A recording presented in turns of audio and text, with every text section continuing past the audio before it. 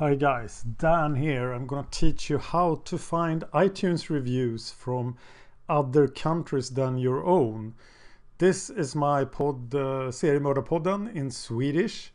See, I have plenty of reviews.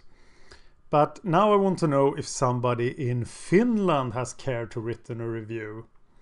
So what do I do? Well, bear with me now because this is super weird. Here, I click on, I right click on the logo and take open link or copy link.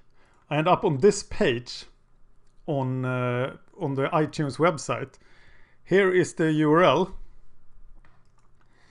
So I take the Swedish letters here. SE is the country code for Sweden and I enter FE. I'll put a link with all the country codes uh, to this video and then I put that in and then suddenly I am in Finland and I can look for Finnish reviews. So let's see if we have any. Yay, we had one, a five star review from Edvardoland uh, saying pretty much that hard work deserves the highest grade. Pretty sweet grade. That's how easy it is to do it. But now then you have to do it for every country. You can only see three of these here.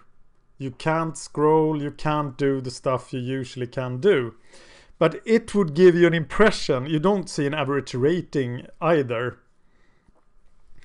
But uh, you can see a couple of reviews, you sort of get an impression of what you're doing. And this is especially important, of course, if you do it in a bigger language than Swedish. Uh, so now I'm going to do this for Fan of History. Thank you for watching.